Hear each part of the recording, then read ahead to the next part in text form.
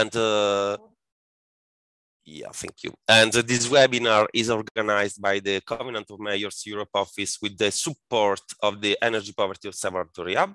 This webinar will present the energy poverty pillar of the Covenant of Mayors in Europe and describe the support available for Covenant signatories for planning, implementing, monitoring and reporting energy poverty actions at the local level. And uh, sorry, I'm just going to to share with you a presentation.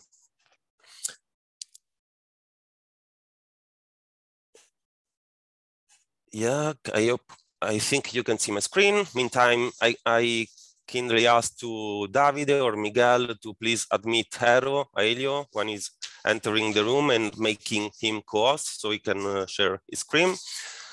And um, yeah, uh, I very much encourage you to ask any questions in the chat box so that uh, we can then forward to our speakers and panelists. So please indicate also your, your country, um, your city, entity, or whom you belong to, so we can understand a bit better your question.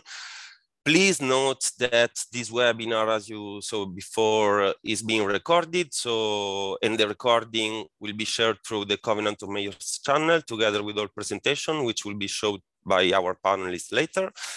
Also, please uh, rename yourself with your name and your city, entity, or whom you belong to, so we can have a clear picture of this room. And uh, um, again, uh, I suspect that you are familiar with the various online conference platform by now, but if you experience any kind of issues, please let us know. Uh, right, uh, just to, give you a quick introduction of our estimated speakers and panelists that uh, we later discuss quite detailed aspects of energy poverty pillar in the Covenant of Mayors. I am Andrea Carosi. I work for the Covenant of Mayors Office Europe, and uh, I have the pleasure to, to moderate this webinar. Together with me online, uh, there is Miguel Morcillo, Morcillo, that will support us in the background from the Covenant of Mayors Office as well. The, the first panelist is uh, Ailio, an advisor on energy transition and local governance at European Commission DG Energy, who will present a useful overview of the energy poverty European policy context.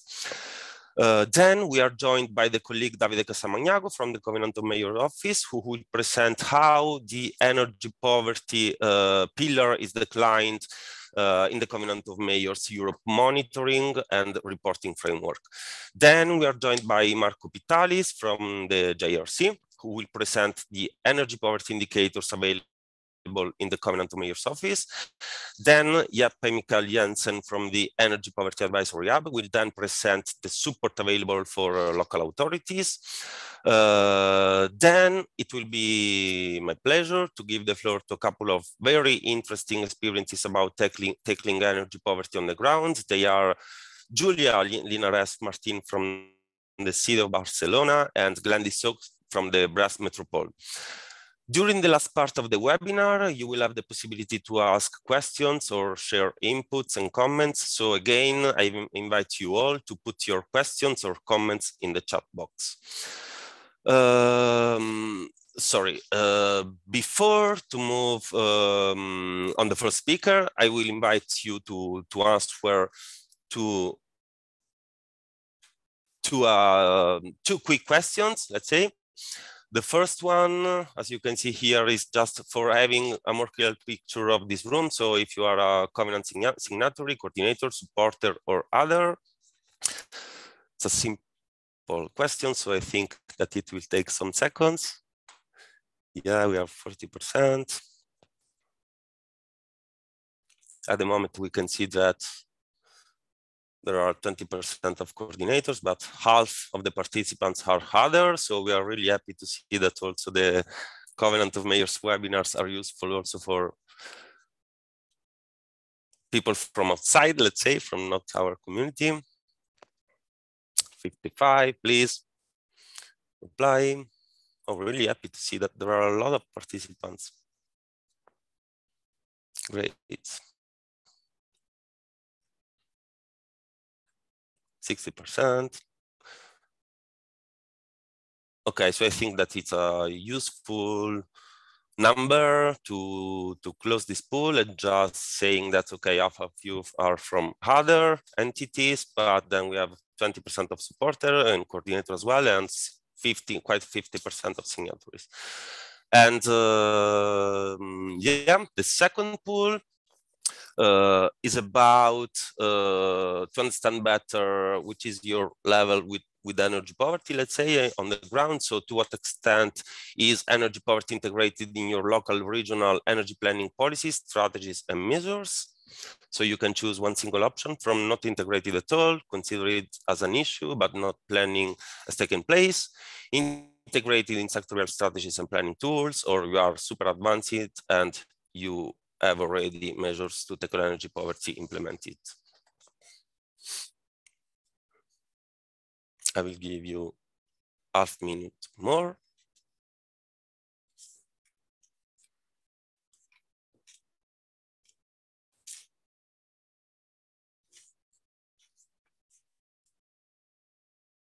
Fifty percent.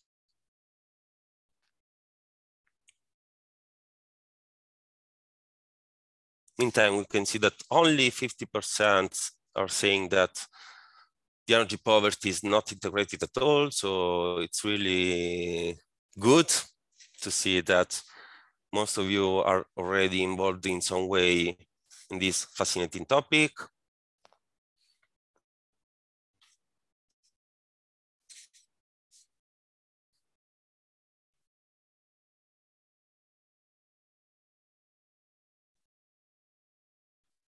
Five seconds.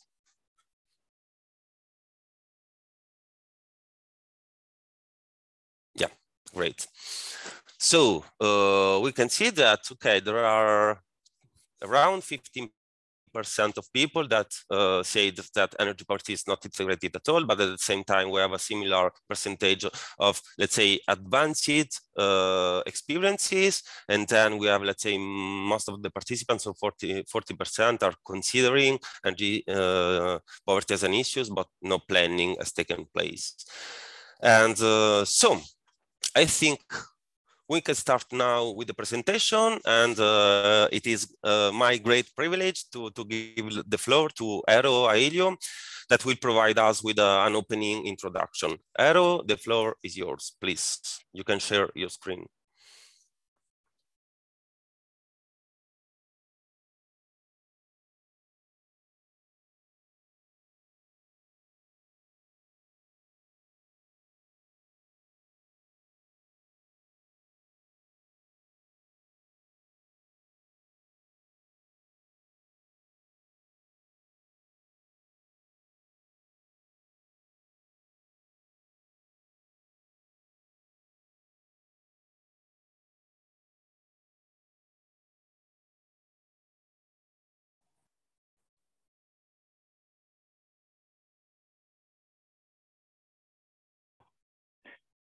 Andrea, you were mute. It's, it looked like you were saying something just two seconds ago.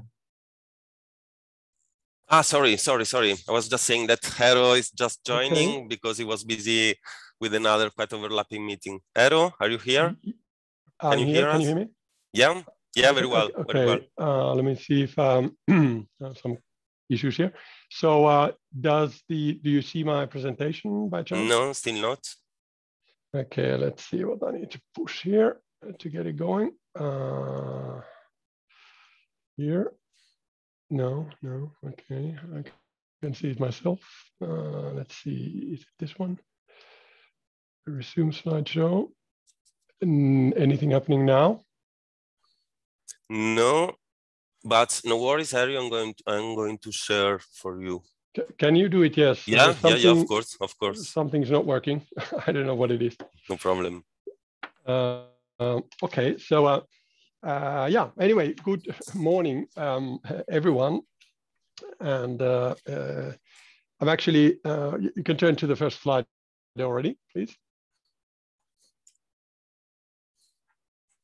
yeah, it's there, I guess. Yeah. Okay. So um, I'm must say that I'm actually excessively happy uh, to see this uh, third pillar uh, launching now. And I can very well sort of recall back in 2015 when we added this pillar to the covenant and we were wondering with colleagues how on earth we're going to make it work in practice actually. But uh, thanks to the hard work of, of Covenant, uh, the uh, Commission colleagues, all these energy poverty experts, and of course the Energy Poverty Observatory and now lately the Advisory Hub, and the cities. So this thing actually came about. So uh, let me look at now a bit at the politics around this this this uh, uh, initiative, and uh, the uh, this first slide takes us actually to the middle ages of the of the work, about a decade decade ago when uh, I got the job to chair experts and stakeholders in a vulnerable consumer working group of the Commission at that time. So uh, the logic was there to check if we can improve the protection of, of uh, vulnerable and energy poor consumers in the electricity and gas legislation dating back to 2009. And when you look at the slide, uh, so you see uh, Arnold and uh, Barroso, our commissioner, they're um, very happily smiling and reference already at that time in 2013 to Covenant of Mayors as a, as a um, key player in this. And for the rest, we were analyzing through several studies uh, energy poverty to learn a bit better what it is actually and means. Next, please. So um, next slide, if you can. Yep, great. So uh, from those days, we uh, uh then went fast forward to the Energy Union, which was the key strategy uh, uh, backing around 2018. And uh, here, um, like millions of meetings later, so this union was built directive by directive, and it had some brand new articles on vulnerable consumers and, and energy poverty in uh, the electricity directive and the governance regulation uh, at that time. So what this did was we gave a kind of a frame for identifying, measuring, and protecting um, uh, energy poor in the electricity sector. And on top of that, uh, laid out obligations for member states to define, identify, and if they found significant numbers of energy poor, so to actually address the real problem. So later, this was uh, uh, um, topped up by a recommendation on concrete ways to identify and deal with the root causes of, of the problem. So next, please. Um, then uh, back to close to today, uh, the European Green Deal.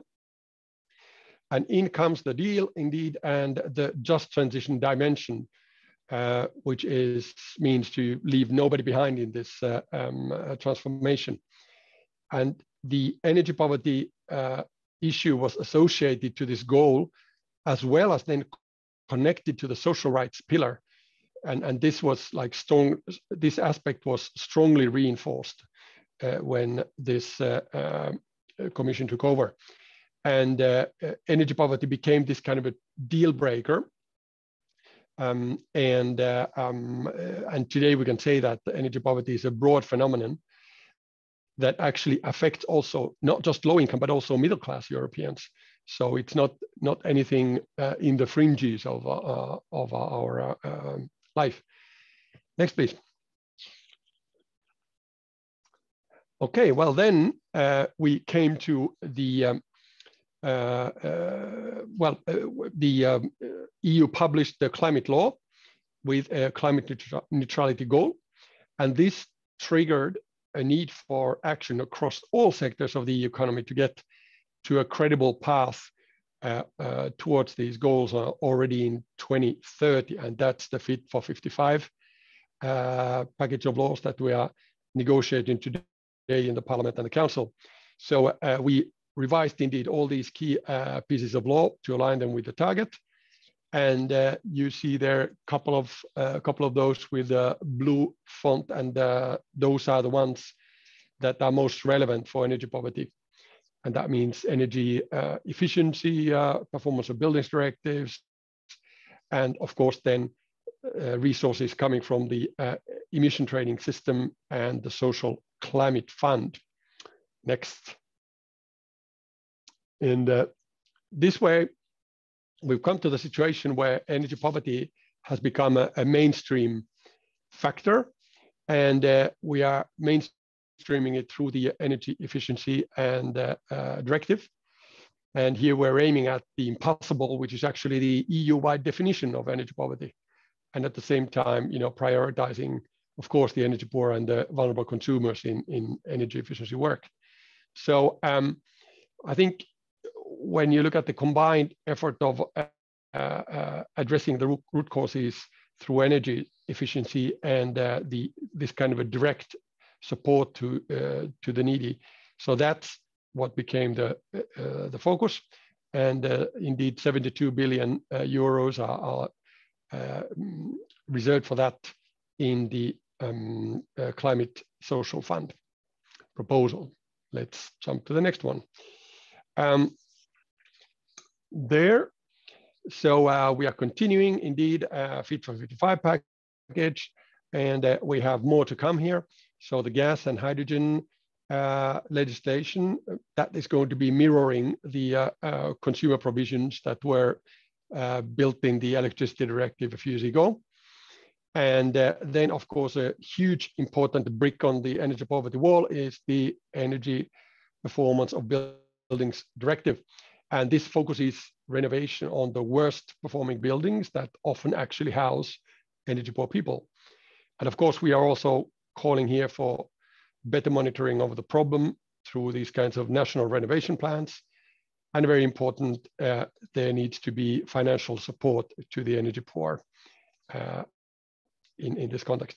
Let's go to the next. Um, and then when all this was going on and everybody had hands full of work, so hit then hits the first crisis, the COVID one.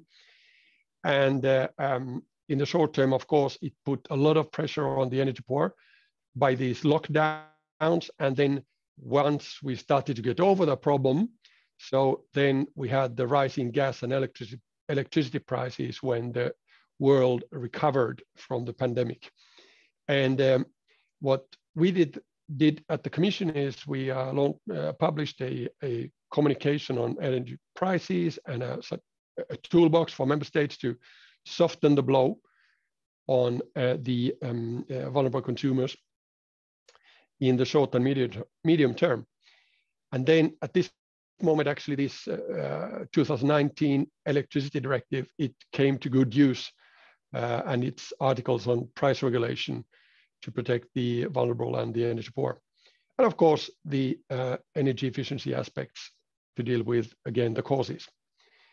And the next uh, um, um, uh, crisis that uh, is there on today's agenda is, of course, Putin with his invasion of Ukraine. So here we responded through a um, uh, um, through the Repower EU joint action, which tries to uh, curb, you know, the um, surging wholesale energy and gas prices, and of course the energy insecurity that was uh, risking to um, uh, to spread well beyond the energy poor of today. And as we were doing this, so uh, of course the clean energy transition uh, was confirmed as the solution to uh, to solve the, the the the key key issue here, which is of course our addiction to uh, fossil fuels. And now then, when we are currently trying to cut the cordon to uh, Russian energy, so we must of course manage this whole process so that houses stay warm and lights uh, on in, in Europe next winter. And if we fail in this, so uh, we might actually have energy poverty becoming a mainstream problem in a way that none of us certainly wants. Next. And this takes me then uh, to my favorite slide and uh, the closing of this policy framing that I'm doing. So this is on, on how uh, the Commission complements its top-down policy role with uh, bottom-up initiatives. And Covenant is, of course, the trailblazer of, of, the, of the group here. And it was followed up uh, uh, more recently by the European Climate Pact to get to the citizen level cooperation on climate and energy. And then, of course, we're talking energy poverty here. So it's the Energy Poverty Observatory that uh, uh, kicked off uh, uh work, this kind of support work uh, a couple of years ago, and uh, now the Energy Poverty Advisory Hub has taken over and is expanding on its work. And I must say that thanks to Putin, the EU will later this month launch a crucial campaign on energy savings, energy security, and accelerated energy transition. So that campaign um, later this month. So this will give them great opportunities for synergies to be found between these uh, three bottom-up initiatives so that we can really operationalize the energy poverty pillar of the covenant. And, and that is why this event today actually is really timely. And we can truly say that more than ever, this fight against energy poverty has become you know, center of uh, attention, not just of the police, politicians, but also of press and, uh, and, and people uh, um, in, in a broader, broader sense. So thank you here, and let's uh, kick off with, the, uh, with this event. Great, fantastic. So thank you so much, Eero. And uh, I think that uh, this was a really good, great framing and overview of the current situation, let's say. And uh, if you are involved in the just transition space, let's say, it's a very exciting time uh, with all the directive revisions coming up and so on. And also seeing that technical assistant, assistance and various programs are being expanded, let's say. Um, so um, I'm happy now to to directly to to run into the, the, the second speaker and I give the floor to to Davide. Davide, please, the floor is yours. Thanks, Andrea. I hope everybody hears me. So we get now more into the operationality of the pillar. So what we have developed for signatories and uh, coordinators and supporters to be to be used within your My Covenant user space. You see my screen?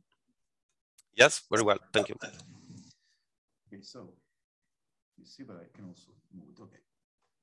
So the integration of the of the energy poverty pillar. My name is David Castelmagnago, and I've been working together with my colleague Miguel Morcillo from the Covenant of Mayors side in developing the tool together with colleagues from the EPA, from the JRC, and many other experts that have been consulted throughout the process. So we, we did went through uh, the development of what you will what you're able to see from now on into my covenant space, which is based on four main elements. On one hand, we'll have uh, uh, we have a new reduction goal within the my strategy part of your or if your my covenant.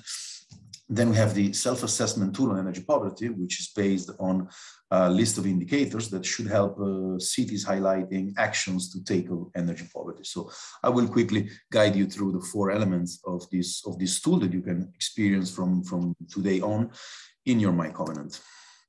First element, the energy poverty reduction goal. This was built after an extensive discussion on the political commitment of. So we have taken the narrative uh, of tackling energy poverty and to ensure a just transition, and we have placed it within the objectives of your uh, covenant um, commitment. This is also, and you will see it later, uh, supported by the possibility to choose monitoring indicators for a more quantitative target of your, um, of your, of your action. As all the other goals under your um, SECAP, it's, it's, uh, it's found uh, in the reporting corner section of my strategy under the specific tab of my um, navigation tab of my, my strategy. In there, uh, below the mitigation and the adaptation goals, you will now see also the energy poverty goal as I describe it that looks exactly like this. This is a screenshot taken from, the, from my covenant.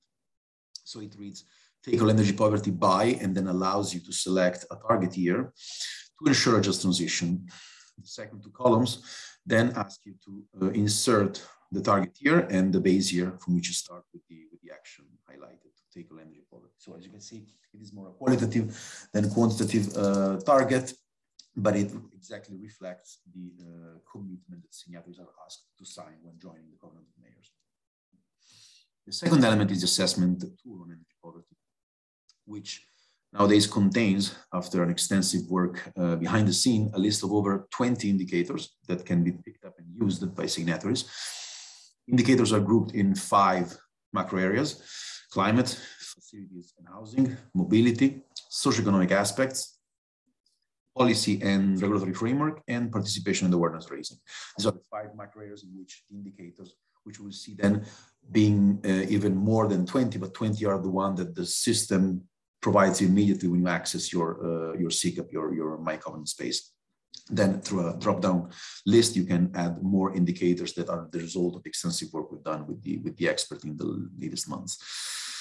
Each of these indicator also has a, um, a short generic definition by uh, hovering over the, the, indicator with the symbol, the information symbol, you, you will find a short description to help you understand and therefore use the indicators you use. Again, here is where you will find the assessment tool. Uh, again, if we look at the um, reporting corner on the left side of your My Covenant space when access, this will be under the section My Inventories.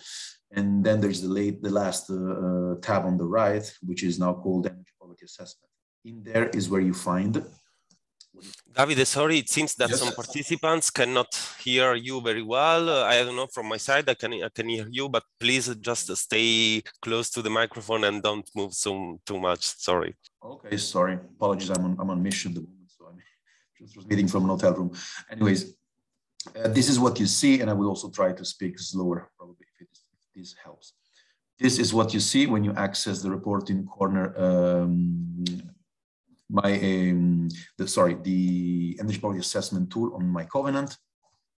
As you can see, here's there's a list of indicators divided by macro areas. If you scroll down, you'll find all the five macro areas that I, that I described earlier. Indicator by indicator, you can um, you can navigate the tool.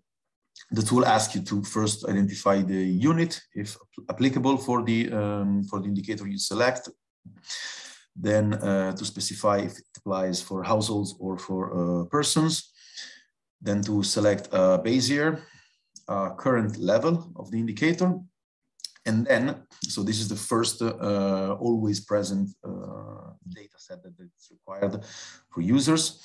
None of these indicators, I, I must say, it's, it's mandatory at the moment. And as I will explain later, there's a buffer period, flexibility period in the beginning there will um, there will then lead to a uh, um, short mandatory component of the of the tool that I will explain later on. But for now, this is what you see when you enter, and these are the uh, information you can type in. Then, if an indicator is selected to, to become a monitoring indicator by, by, by ticking the box on the second last column on the right, then the target level column will um, will apply. And this is how you monitor the selection of your, your indicator, the use of your indicator. So not only by, by, by placing um, a unit of value on the current level, but also a target level reachable by the year that you have put in your, uh, in your goal previous slides. This is how you navigate the, uh, the assessment tool.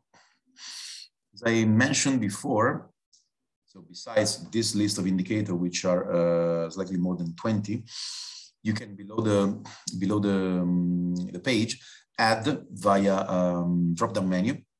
You can add more indicators, and this is the result extensive work we've done uh, in, in selecting indicators. So whenever one of the indicators is uh, selected from the uh, drop-down list, it will appear also in here in the tab. So you will be able to fill it up column by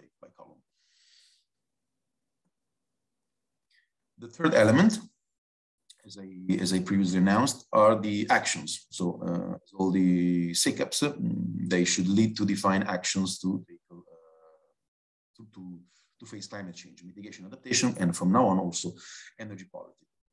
They're found in the uh, My Action uh, part of the reporting corner, and there's um, a navigation tab called My Action Overview and Action Details. So it applies in both the aspects. that will guide you through now the My Action Overview addition to energy poverty and the action details.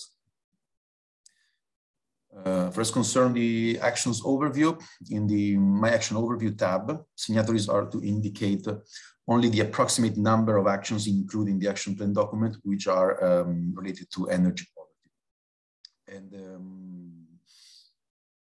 only at the monitoring stage, the action implementation status field will appear. I will show you uh, how does it work um, in the next slide. For as regard the action details, um, the changes that you find now in line with the energy poverty pillar is that when you create a new action in your SECAP, now you can select and take uh, the adaptation, the, the energy poverty um, component alongside with the mitigation or the adaptation. This is how it looks in the uh, actions overview. So as I said, signatory uh, are to indicate the approximate number of actions included in the action plan document per macro area. So these are the five macro areas uh, described earlier. And the um, monitoring stage will only appear once you are in the implementation, in the monitoring phase of, the, of your SECAP. So the first column is the one belonging to the first part, and then the rest, uh, the last four are for the, uh, for the when it gets to the action details section of your of your SECAP, as I said, you can from now on mark energy poverty and as a type of action. Once you do that, the uh, three following information uh, will be requested you to, to fill in, which is the macro area that the action addresses, the vulnerable population group targeted, and the outcomes reached, including uh, an indicator, again, taken from the, from the list of indicators. So these are the three slash four, if we consider also the extra list of indicator element of the energy poverty pillar that you will find from now on on our my as I um, quickly touched upon earlier, there's a there will be a transition period until the end of two thousand the 2024, with uh, in which no mandatory data uh, are required. After that, there are there will be a there will be a mandatory uh, indicator to be used that will be recognizable uh, because it's highlighted in, in yellow. There will be a single indicator that is asked um, municipalities and signatories to fill in and use, but not before the end of 2024. You will find uh, the annex document with all the list of indicators and descriptions available into My Covenant as well in the section and most useful reporting guidelines that describes step by step all that we went quickly through today. And this is also available uh, both in your My Covenant space, there'll be a link to find the reporting guidelines, and also in the public library of the Covenant of Mayors website. So Andre, I guess we have a Q&A session at the end, right? Uh, we should keep the questions there. Yes, right, right. So I'll be, of course, available till the end. And so this is the, the end of the presentation for now. Great. So thank you. Thank you so much, Davide. I think it's really useful uh, overview, let's say, of the um, integration of energy poverty in the Covenant of Mayors. And uh, I will now give the floor to, to Marco Pitalis from JRC talking about the energy poverty indica indicators in the Covenant of Mayors Europe. Marco, please, the floor is yours. Hello. Hello. Good morning, everyone. Uh, let me try to share the screen. I hope you can see it and that you can see it in a presentation mode. Uh, still not in a presentation mode. Coming. Yeah. Here it is. Uh, thanks a lot for uh, inviting the JRC for this launch event. It's a really important uh, step as a, a, provider of scientific support to the Covenant initiative. We are, we are really glad to be here. And during my presentation today, I will just give a brief overview of uh, the energy poverty indicators and uh, what have been the principles behind the identification of these indicators, the process we followed uh, altogether uh, defining the indicators, and uh, we'll have just a snapshot of a couple of them to have a practical example of how they look like. Uh, so principles behind the, the rationale behind the energy poverty indicators. Uh, basically, uh, we mentioned that the energy poverty theme is uh, really multidimensional. So one uh, foundational principle was to identify a set of indicators that could encapsulate all these different dimensions from uh, climate uh, aspects, socioeconomic aspects, uh, reference to the housing and facilities, and the regulatory framework. So we looked at the list of indicators in these terms. And the second principle was to structure them giving a certain relevance and reference to this different dimension and finally uh, Marco, also to Marco, sorry, um, yeah. we still see the the um, the cover slide is not moving. I don't know if you're moving. Yeah. Yeah, I moved, but maybe it's uh, slow. Can you see a slide titled "Energy Poverty Indicators"? Now? Yeah. Only. Uh, yeah. The, yeah. Right. The title slide only. What, what you could do see is, is first putting the presentation into presentation mode and then share your screen. Let me try that way.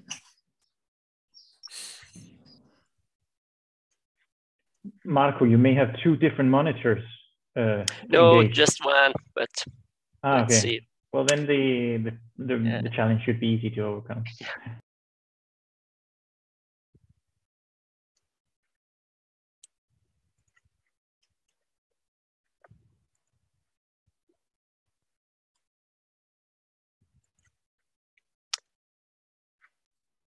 Otherwise. I can share for you, Marco.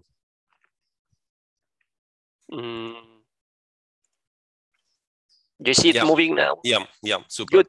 So this refers to the principles I was mentioning. So uh, list of indicators that could encapsulate these uh, different dimensions having a structure uh, with reference to uh, the various micro areas and level of relevance for the indicators, and then uh, framing the indicators so that there is a flexibility in reporting, both in terms of what is asked and uh, possibility to select uh, the indicators. And uh, the process we went through with all the exchanges among uh, the Covenant of Mayor Europe office, uh, the advisory app, the JRC, uh, basically follow this uh, uh, this journey. We started with a long list of indicators. We worked towards the categorization and classification. We had an important uh, intermediate moment with exchange with practic- practitioners, where there was a first, uh, let's say, testing of this list and give the possibility to incorporate feedback from practitioners. And then we reach the final definition of the list of indicators. And the uh, last point, uh, an important thing is that uh, the pillar is aligned to the larger effort at global level of the Covenant initiative of launching the energy access and energy poverty pillar. So this is an important step for the Covenant Europe, but fits into a broader, larger picture of launching the energy access and energy poverty pillar at global level. Uh, now, the final list, what's the final result? Long list of indicators, 56 energy poverty indicators. Uh, as mentioned already by Davide, uh, the important thing here is that they, they are comprehensive, but the level of uh, uh, requirement for reporting, it's really uh, flexible. and then after at the end of 2024 there will be only one indicator that will be required the other are open to the different to the signatories to select what they are most uh, relevant for them. They are structured in macro areas, these dimensions of the energy poverty theme that we, uh, we referred before. And then there is also a division in different, let's say, priority levels uh, set. They are classified as monitor indicators. They are useful, they, they serve the assessment part. And then there's also a set of uh, uh, indicators defined as related indicators. These indicators, they provide informal, con important contextual information that complete the picture of the energy poverty uh, in a, a, specific context. Now, let's have a look at some uh, examples. If we look at the socioeconomic uh, uh macro area, some of the indicators uh, uh, are these, just two, two examples. The first one is uh, monitor indicator. It's the one that will become the mandatory indicator in uh, 2025 and refers to percentage of persons or households spending up to a certain percentage of their income on energy services. So the level of flexibility here is already visible in terms of uh, possibility of reporting against persons or households. And then this percentage, this, this threshold that then defines uh, when a person or household falls into a situation of energy poverty will be uh, set by the signatory because there are different uh, uh, situations depending by the different regions. So there will be the possibility to tune to to define this uh, uh this uh, this threshold for the signatory. And then as related indicator, uh, consider here in this example the unemployment rate. So it's important contextual information to to to complete to interpret really the the other the the whole picture. And uh, finally, other examples regarding the regulatory framework uh, macro area.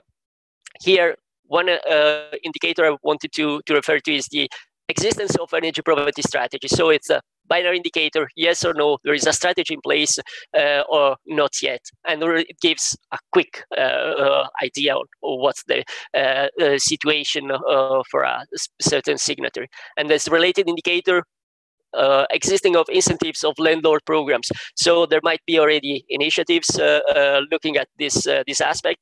It's a contextual information that completes the fact that uh, it can be related to a, a larger strategy on energy poverty, or maybe not, because there would be this for example, uh, this type of action in place, but maybe it's not strategized within a, a larger plan. Uh, with this example, I finished my presentation. I would say two uh, highlights a long list, a very comprehensive list of indicators that cover all these different dimensions, and then uh, a high level of flexibility in terms of uh, uh, type of reporting and uh, identification and selection of uh, indicators that are more most relevant for the signatory. This concludes my presentation, and thanks a lot. Thank you. So great, thank you amazing thank you very much marco and it's i think it's really useful no to to to have a look to see these kind of really complex and scientific uh, process that is behind of the um, of the indicators let's say so just go just run into the, the next speakers. I'm really happy to to to give the floor to to Jeppe Mikkel Jensen from the Energy Poverty Advisory Hub. Jeppe, please, the floor is yours. Thanks a lot, Andrea. Um, let me just uh, try to do the same magic as everybody else in sharing my screen.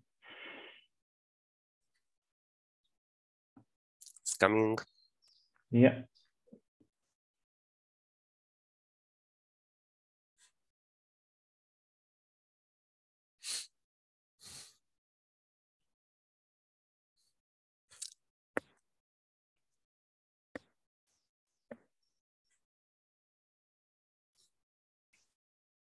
So patience is a virtue yes. when it comes yes. to IT applications. Um, I hope you can see me now. And more importantly, I hope you can see my slide. Uh, so as Andrea said, uh, uh, my name is uh, Jeppe Jensen. I am uh, I represent the Energy Poverty Advisory Hub. Uh, it's already been mentioned several times, so I will not dig so much into the history of it. Eero really pinned it out uh, so, so in case there are any doubts, uh, go back to the streams that will be available on the Covenant of Mayors website later on. Uh, I will talk a little bit about the consequences of our, let's say, our increased ambitions on the uh, on our on our targets for our energy transition, plus what the uh, advisory hub is here to help you with and you may have guessed that there's a tight connection between the two. So first of all, just to sort of set the frame of why are, why have Andrea and the Covenant of Mayors uh, office invited uh, the Energy Poverty Advisory Hub here? It is because, and has been mentioned before, that uh, the third pillar, as we call it, uh, of the Covenant of Mayors uh, political commitments is energy poverty.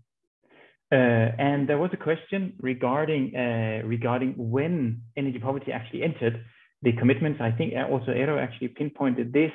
Uh, but back in 2015, when the 2030 commitments were included, that was actually the first time where energy poverty was um, was included into uh, into the Covenant of Mayors framework. It has been further refined now with the new uh, 2050 commitments but uh, this was the first time, and this also means that the question uh, to the uh, to uh, the answer to the question in the slide is yes. Uh, you should for sure consider energy poverty uh, in your work on the SECAP. Um, and I'm here to tell you a little bit about how, where to look for how to do so. So basically, the Energy Poverty Advisory Hub is here to contribute uh, in the support on energy poverty. The, as Davide presented, uh, the Covenant of Mayors has been leading with the Covenant, uh, Covenant community the process on uh, developing the local indicators. But uh, actions on the ground uh, is primarily empowered by the activities coming from the Energy Poverty Advisory Hub, meaning a lot of practical guidance, good examples, e-learnings, technical assistance, as I said here, to apply to the uh, framework that uh, Davide and uh, the Covenant of Mayors office have, uh, have developed recently. And obviously with the technical support from uh, from Marco and the Joint Research Center. So uh, sort of uh, the support comes from all different directions. So you uh, so you can feel uh, as, uh, as at ease as, as possible. Coming back to the to our increasing ambitions of the transition, uh, I recall back in the beginning of the Covenant of Mayors uh, times when the target said a, a reduction of 20% by 2020. Technically, this is this could be done by the municipality itself, or let's say the uh, can we call it the, te the Tesla segment perhaps. So the front runners could basically reach these targets on our own. Now, when our targets are climate neutrality, we need full the whole society to get on board and this means that we also need to consider uh, the vulnerable consumers in our in our society because those uh, at most vulnerable uh, needs to be uh, needs to have a specific attention when we change when we transition our energy system because uh, uh, changing business as usual is a risk in particular if you're vulnerable and that's why that we from the Energy Poverty Advisory Hub will provide you with a series of support to ensure that you think socially every time you consider uh, you consider uh, uh, the uh, actions related to the energy transition. Um, I will not dwell too much on this triangle because Eero already uh, uh, presented this, but this is, let's say, a is a, is a very, let's say, obviously a simplified uh, spectacle to put on and uh, and look at some of the uh, some of the causes of uh, local energy poverty. You will uh, obviously come across this triangle, whether it's in made in circles or here, like here, but you will come across this very often, in particular if you visit our uh, website. Um, so I will not dwell too much on this, but just quickly uh, leave you uh, half a minute to read this slide. I don't think I need to read it out loud, but it's the, basically the mission and the vision of the Energy Poverty uh, Advisory Hub as we started out in the, the beginning of last year.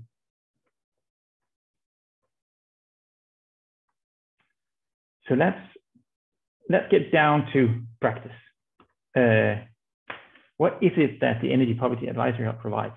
Um, as you saw, the Covenant of Mayors provide a framework, a political commitment.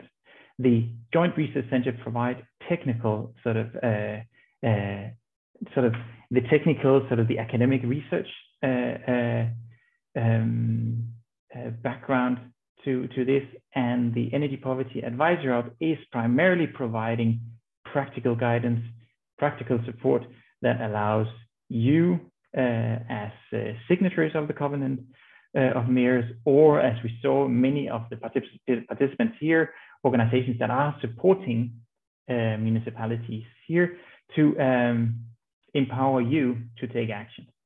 Because it's the uh, local authorities that are the closest uh, authority to the household in need and therefore uh, best placed to, to take the immediate actions. what we provide, uh, just a couple of things here. I will uh, highlight a couple of reports, uh, um, um, sort of both the, the reports here from, from that we've started out with. As you can see, our, our library is, is not very big if you look at EPAH publications, but if you go to our website, you will see that EPAH is also a platform where everybody with good examples uh, or, uh, or any sort of or reports or knowledge can provide their uh, information and you can use uh, you can um, you can use the website uh, as the library uh, both to uh, submit your information to but also to extract information the reports is one thing but the EPAH Atlas is really where we show uh, in a map version examples across the European Union with a bit more than 200 examples. I think they're, they're here now you can also submit your examples. But if you look at that map, you will find out that even though energy poverty actions at local level may be fairly new to you, you're not very far away from another municipality that has been thinking uh, along the same lines. So don't hesitate to, uh, to sort of reach out uh, to these municipalities. And you will see that there are plenty of situations that are not exactly similar to yours because not two municipalities are the same, but maybe those two. Same thing uh, in regard to the publications, some, uh, some of, let's say we can call it flagship publications is our trilogy, as we call it, on the handbooks. Uh, they, basically, this will be the practical guidance on, uh, on how, how you start taking actions uh, on, uh, on energy poverty, almost starting from the first cup of coffee in your municipal administration where either a politician say we have to do something or one of your colleagues says i can see we're having a challenge here. So basically from that very little seed and all the way until uh, we cut the ribbons to uh, to the uh, to the implemented project. So let me just move on uh, again a bit on how we're going to do this uh, um, apart from the publications uh, the the learning opportunities, we have online courses. We will have uh, international and local events together with our, we have national antennas across the union. Um, and you see already here, uh, the first uh, introductory course is already available online. Uh, as I said, the events, and here I'd like to draw your attention to our uh, first physical conference, which we're looking very much forward to on the 28th, 29th of June in Zagreb.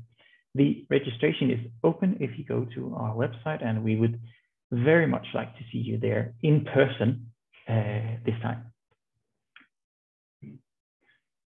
At the same time, don't hesitate to uh, contact us uh, via the help desk and uh, also uh, the calls on technical assistance that is basically bilateral uh, assistance between EPAH and municipalities, including also national or regional experts.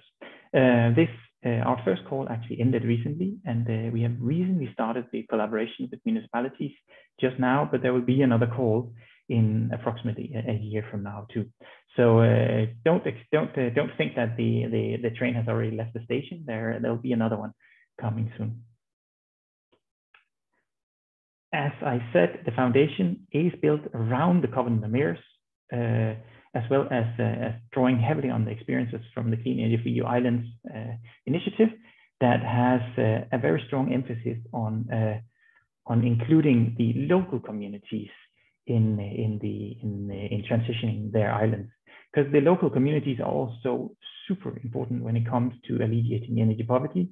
You will notice when you start uh, mapping, if you haven't done it already, the organizations that are dealing with energy poverty, the social, uh, the civil society organizations, very often have very detailed information about the situation in, in, uh, in the households in your municipalities, and therefore a great source of information that can also contribute when you are to select your, uh, your uh, indicators, for instance, as, uh, as David was referring to. Here is basically um, the methodology that we're putting forward. Um, this, uh, I would also not explain all the different details. You may see a certain sort of similarity to, uh, to the uh, Covenant of Mayors uh, circle. And it is uh, no surprise because this is a very common uh, circular planning move.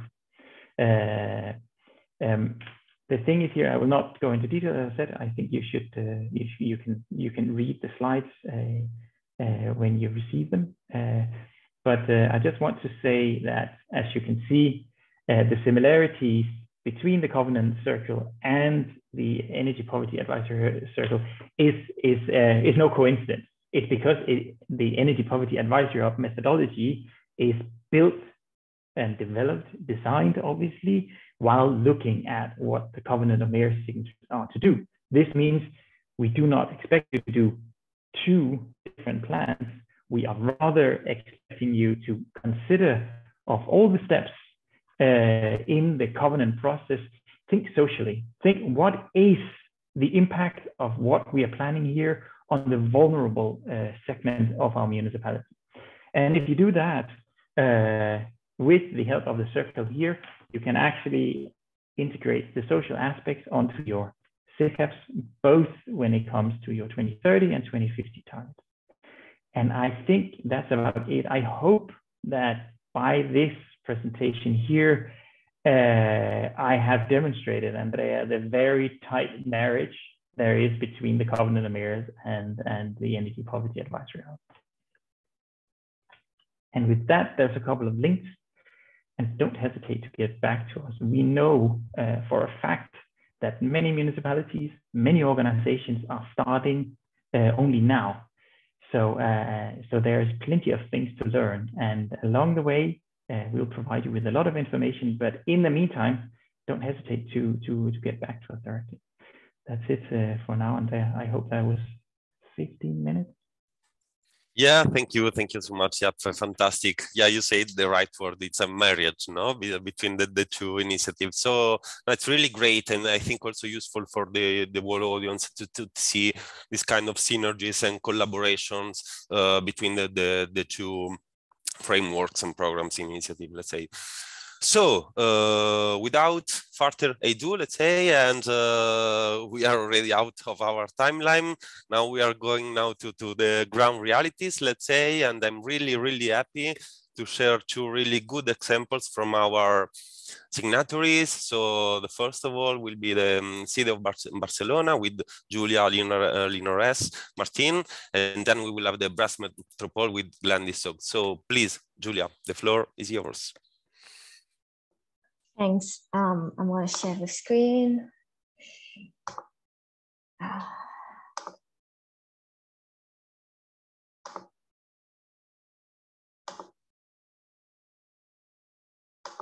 Can you see it now? Yes, in the presentation mode. Okay. Super. Um, well, first, I would like to thank you, Andrea, and also Miguel for reaching us and, and giving us the opportunity to share our experience in, in this webinar.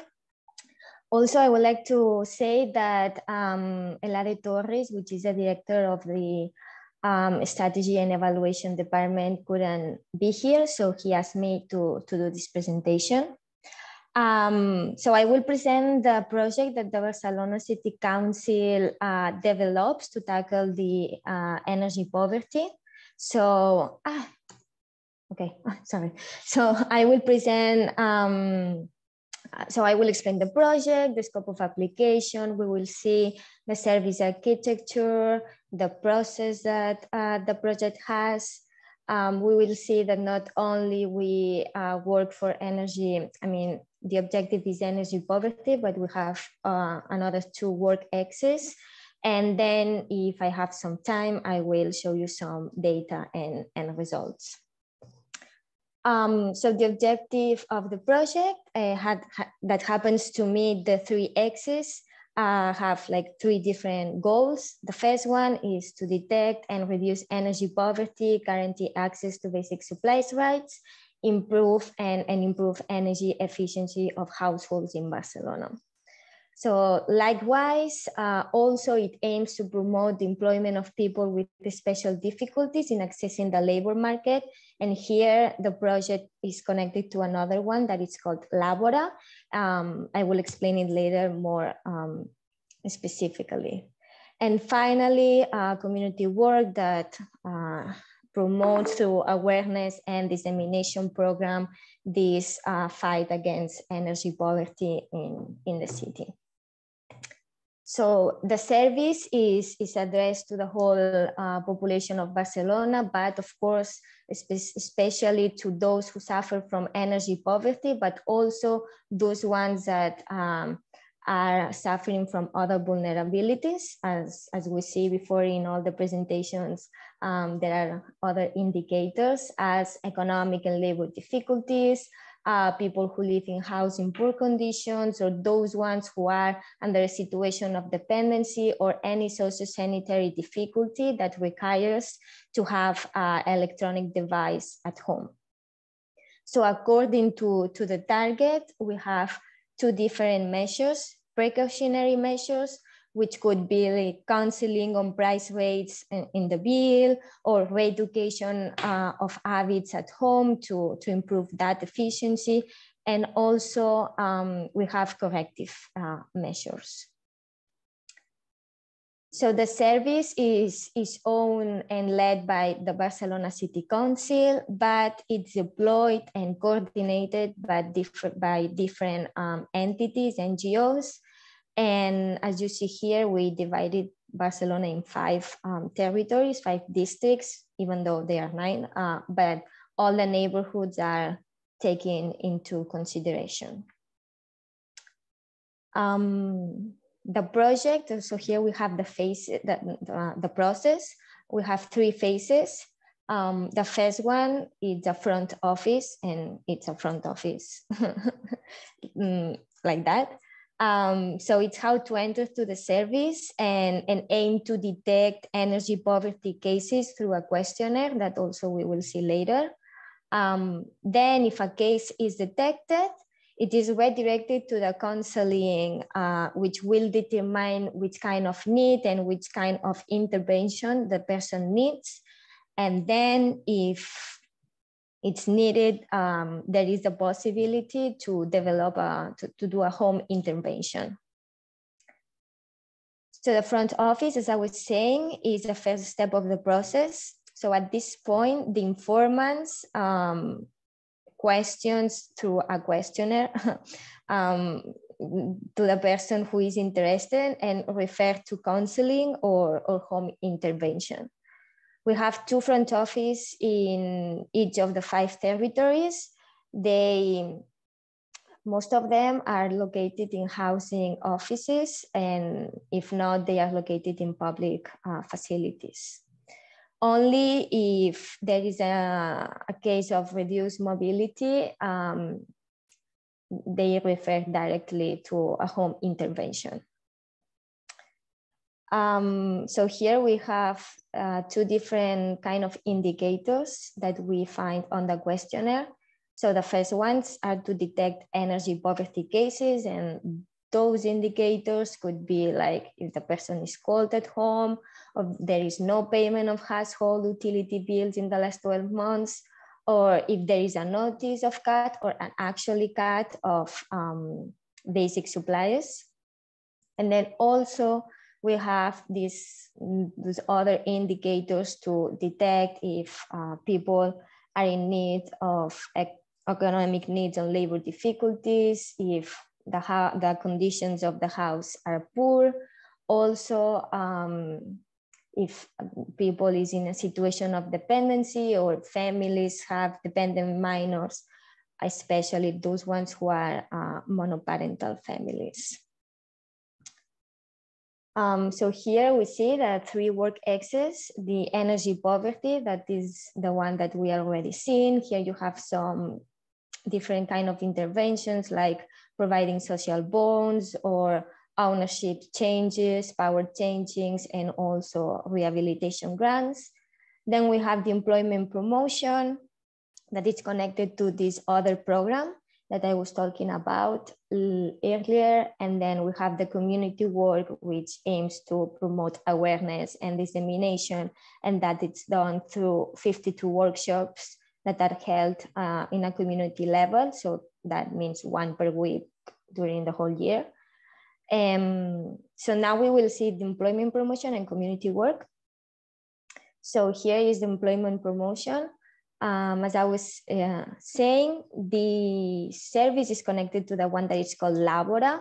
This one has a, spe a specific methodology to work with people having difficulties to access the labor market. So what we do is to combine both and use that methodology that they have to first have a training um, that it's called agents training, like um, energy agents training, that it's um, directed to three groups of 20 people, which means 60 people in total during two months and a half and that two months and a half are divided in three periods. So during the first month, um, it's focusing in theory on energy management and energy saving measures. Whereas the period two, which is also theory, but it's focusing in that two issues, but at home. So like what we can do at home to improve our efficiency, for instance. And then the internship that these people will do uh, is connected to the service on the way that these people are going to accompany the interventors that go at home to do home interventions. So they will learn what are the things that you can do um, there. Of course, digital skills are taken into consideration in this training uh, transversally. And then here we have the community work.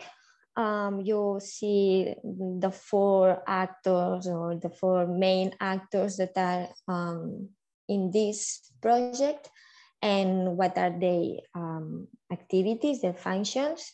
So for the entities that work in the territory would be identify that service and disseminate it through schools, medical centers, or the districts of the service. And so for that matter to planificate, to plan that workshop that I was talking to you about late, uh, earlier. On the front offices, they will centralize all the information to carry out advice in their territory. So the agents inform the users that goes there to ask information about energy um, poverty. And then at the level of the coordination of the service, that will coordinate meetings with the district offices, explain the explain uh, the service. So they also knows what the service is. And so the people that mm, they uh, assist, if they have any problem about this issue, they know that this service exists, so they can um, redirect the people to the front office. And also it will provide support on the dissemination and communication of the project in more in a city level. Um, so that would be a project. I'm trying to cut time so the other person also can explain it. Um, here we have some data. Um, so this project started in 2017 and the tendency was upgrading, but of course 2020 was um, difficult year for all of us and the total of people assisted decreased um, although the, sorry, sorry, I couldn't change the language of the text. So I'm just gonna translate it. The blue ones are women and the red ones are men. So you can see that the difference between both of them is the same. So 65% approx is for women and then the other 55 uh, would be men. Here we have some data for each activity, so front office, counseling, and home intervention.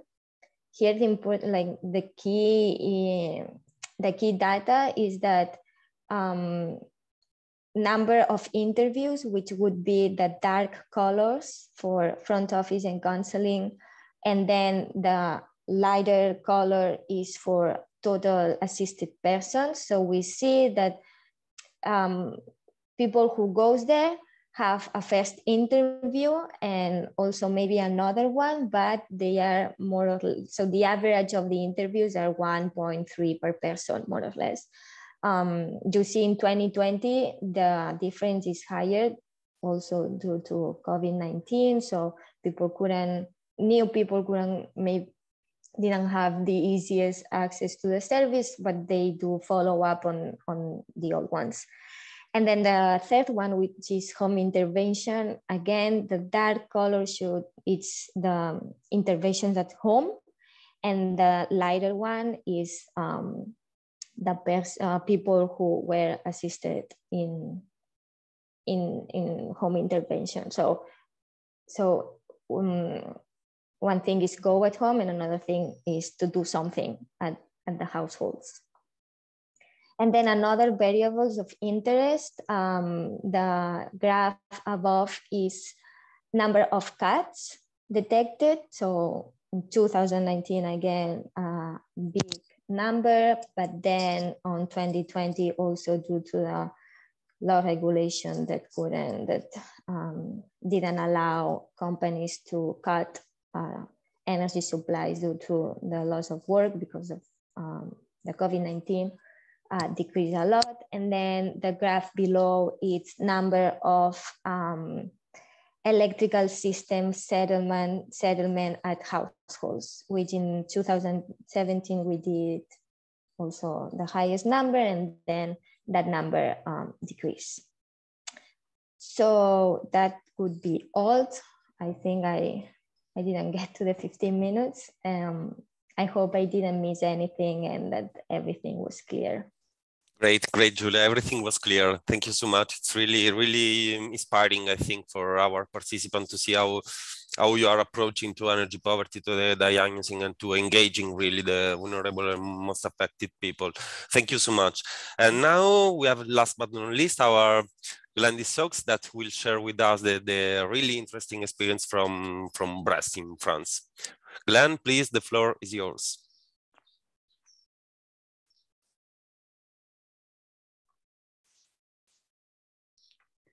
Yes, we can see it. But you are muted.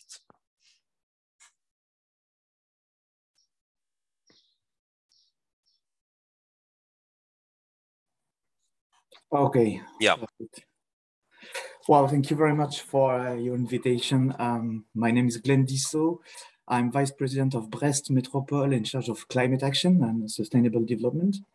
So uh, I will try to give you a very quick feedback from the Western metropolis in, in France uh, regarding uh, the fight against um, energy poverty.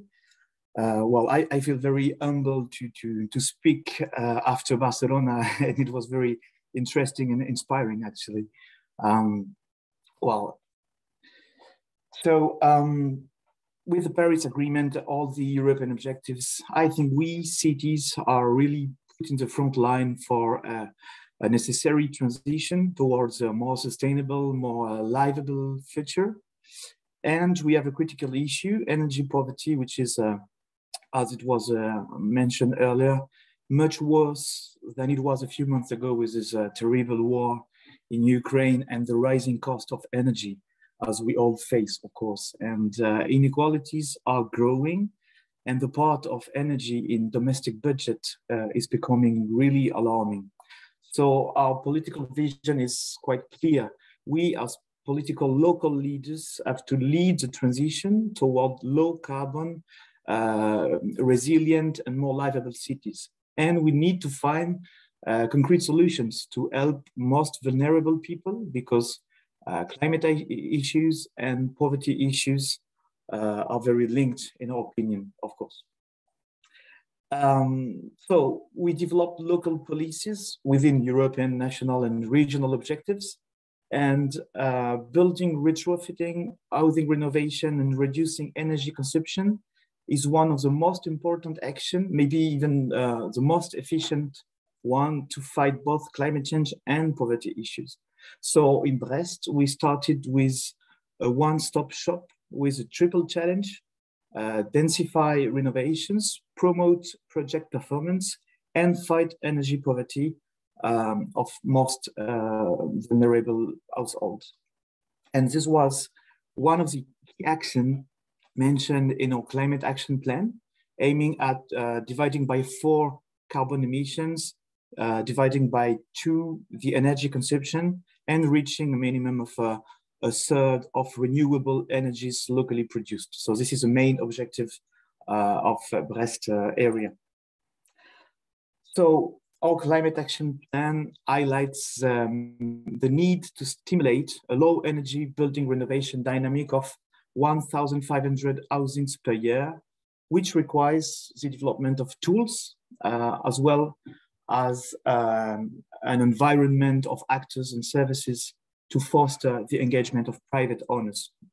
And the facility we created is called Tinergie.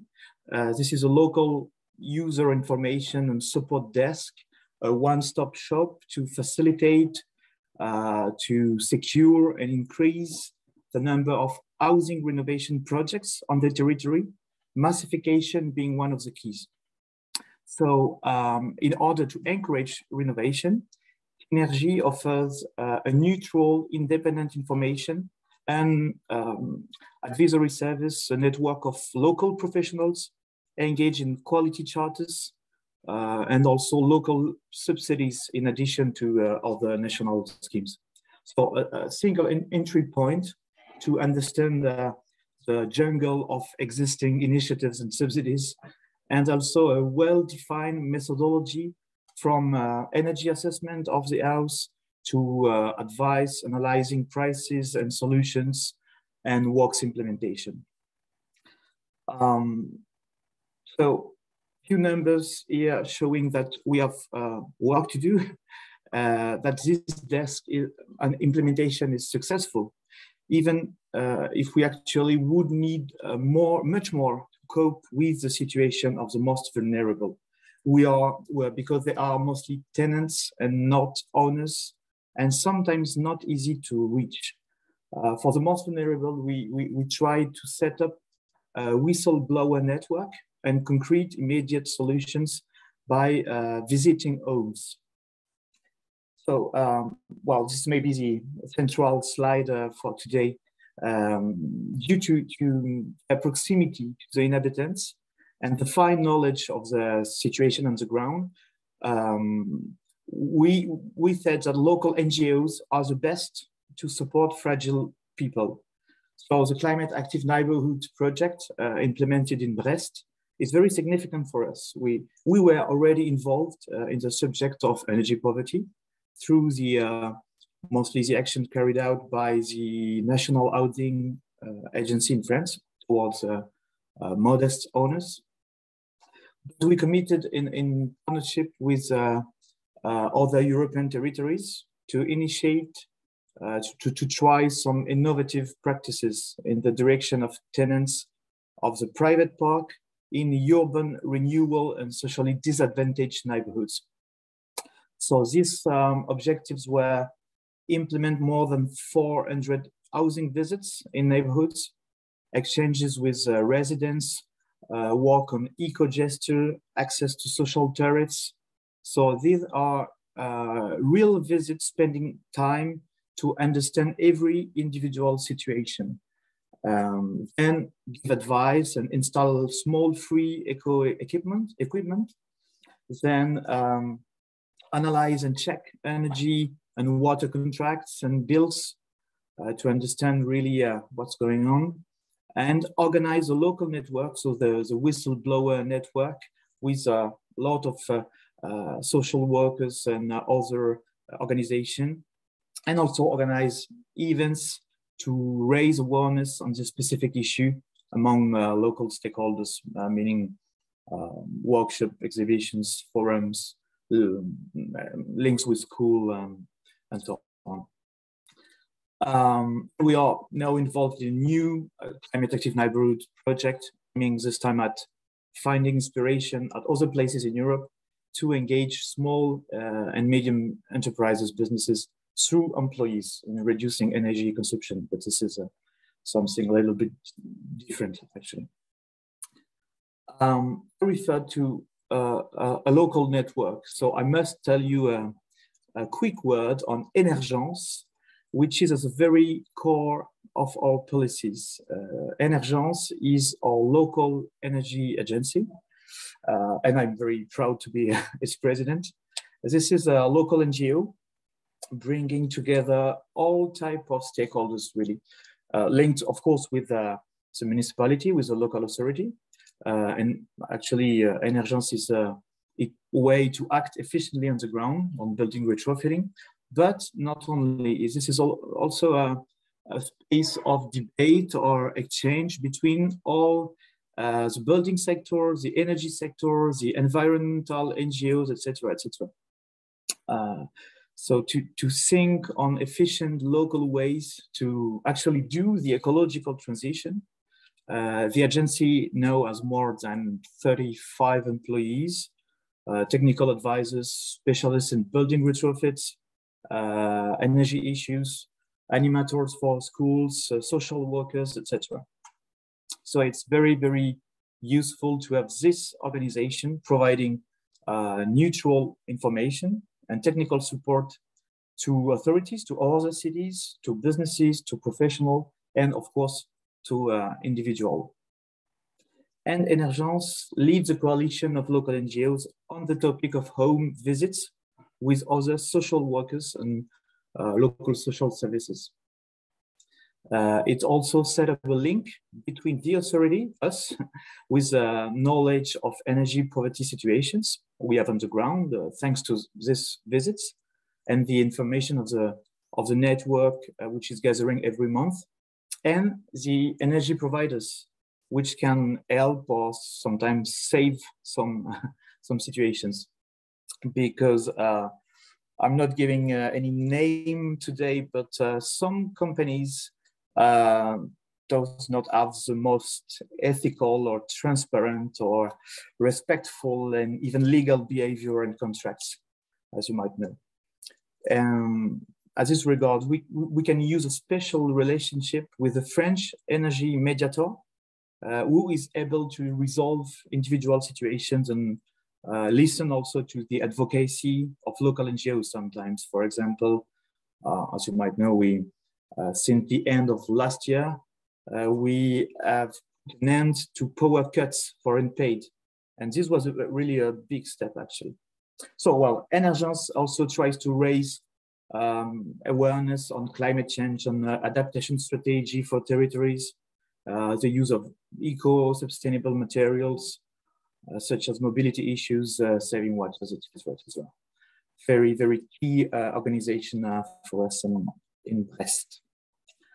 Um, so, well, I, I think we, um, this particular matter of energy poverty and implementing housing retrofits, uh, we're quite a, um, a, front runner for in, in, in France, but we still, of course, uh, we, we know perfectly we are, we are very far from coping entirely these issues. Uh, we face several obstacles to achieve the goals of all climate plan for housing renovation uh, because we really need to increase the number of and massify renovations. At the same time, we have to work on quality and performance of projects, and at the same time, of course, work on the social angle, meaning supporting the fight against energy poverty. So we would like to go a step further uh, by federating all the stakeholders around a global plan and objectives established by public authorities to, uh, to renovate social housing and buildings for the lowest incomes who are often uh, tenants and not owners. So uh, this means retrofitting legal obligations as much as stable, secured grants and financial engineering. So uh, uh, huge advocacy to make here. and this would also mean structuring of the local building sector. Uh, we have huge work to do also. And simplifying the procedures for individuals, uh, promote a coordinated, thermally efficient and cost optimized uh, technical intervention because uh, as I said before, this can be a jungle sometimes to understand. um, so we cities, of course, we need Europe. and we fully share the propositions elaborated, implemented uh, uh, with Climate Alliance and Energy Cities. We, we, we talked about it uh, in Nantes during the summit climate change in last March uh, in the wake of uh, Fit for 55 package. Um, we think in, in order to alleviate energy poverty, we think a, a framework to strengthen the mandate of cities is really, really important because we are the closest uh, to inhabitants, of course, and to, to vulnerable citizens. So we can really uh, unleash tailored intervention. Um, also to, to ensure um, increased high quality retrofits. Uh, the access to information and implementation services is, a key. Free energy consultation and one-stop shop approaches, uh, along with insensitive uh, money subsidies, of course. So um, this means that we need financial and legal instruments, of course, uh, including special loans from the banks, which is not easy to get. sometimes, and support legislative, financial, uh, and every measure that enable uh, or strongly incite building owners to renovate and prevent the cost from being passed to, to tenants. Uh, and of course, reduce the energy demand of, of buildings over their life cycle. Uh, this require eco-sustainable materials for, for example. Uh, okay, so uh, uh, thank you very much for your uh, for your attention. I hope I was not too long or too wide in this presentation. I, I, I really think that climate issues in our, our local plans must be strongly linked with tackling social inequalities and energy poverty situations, which are everywhere really in, in our territory and growing with the with the, with this crisis. So still a lot of work to do uh, with other territories uh, alongside with European programs, of course. And it's always very inspiring really to to share some uh, some experience. And to conclude, just a word on a, another program on uh, rural urban cooperation on energy issues and also energy poverty, because we aim at reducing the rate of fuel dependent boiler, for, for example. Uh, Brest will be honored to welcome REG Energy final conference on uh, May the 18th, uh, which is organized jointly with uh, Climate Alliance. So I think, uh, I hope the Climate Alliance and the European Commission, DG Energy were of course invited. It will be, I think, a really interesting report. Uh, Great. Okay, thank you. Thank you. Thank you. Thank you so much, Glenn. It was a really, really interesting. We are super out of time, but I think it was really useful to, to hear everything by you. So we have only two minutes, let's say, for the Q&A session, uh, but uh, we are uh, lucky because we have only two, but really important questions. I think one is for, for Davide and the other one is from Eero. Maybe we could start from that one for Davide. So the province of Flemish Brabant from Belgium is asking is if the energy poverty is mandatory pillar for the mm, 2030 commitment or only for 2050 commitment and uh, if uh, it should be integrated in the in the SECAP uh, right now or not. Davide? Yes. So the answer the answer is yes. So from now on, the energy poverty pillar it's a, it's um it's a fair component of of your SECAPs. so from um, after 2020 commitment onwards. Uh, but this again, this is in line with the always um, voluntary component of the covenant of mayors to the ratio behind having no mandatory indicators uh, in a buffer period from now until 2024. And after that, as Marco said, Marco from JRC said, Marco Vitalis, there will be only one indicator, the one showed by him, which will become mandatory after 2024. So we always uh, and we consulted a lot with the group of practitioners, with the covenant community. So the tool are always there for uh, cities not to be uh, a burden, but to be rather an instrument and a, and a, support. That's why it's an assessment tool. The goal, as you said, uh, can only can, can, simply be aligned with your uh, other mitigation adaptation goals by adding a, year by which uh, you uh, you aim at tackling energy poverty and your level of, uh, of action is then defined with the indicators you use and with the action you, you highlight. So it's very flexible as the rest of your, um, of your SECAP has always been. Great, thank you so much, David. And the other question from her, okay, it's a really wide question, let's say, but I think that you already replied something in the chat. But Christina Paci is asking uh, how the direct support to the most vulnerable people will be activated. Uh, yes, indeed. Uh, yeah, thank you. Thank you, Christina, for a very key question, actually. And uh, so, uh, yeah, I wrote already in the chat uh, sort of part of the story. Uh, I um, assume that you're talking about the Climate Social Fund that I mentioned as a source of this kind of um, support. So that fund indeed um, is a proposal of the Commission to our co-legislators, so the Parliament and the Council. So they are now actually debating this uh, proposal. So uh, it's not yet uh, adopted. Uh, so um, we have to now see. I think this is happening now during the French EU presidency currently. So I, uh, I hope that we will soon be uh, uh, getting to an agreement on that. And once that is there, then we need to um, operationalize this connection, indeed between the um, the, the uh, uh, emission trading system and uh, and the fund. So the, the the idea is indeed that, for instance, well, the part of the uh, emission trading system. So uh, we are also proposing to uh, to upgrade in in three different ways, and one one of them is just to increase the um, the, the, current system so that it would um, of course, uh, uh, produce more uh, revenues to, to be used. And then there's a proposal to extend it to, um, to cover transport and building fuels,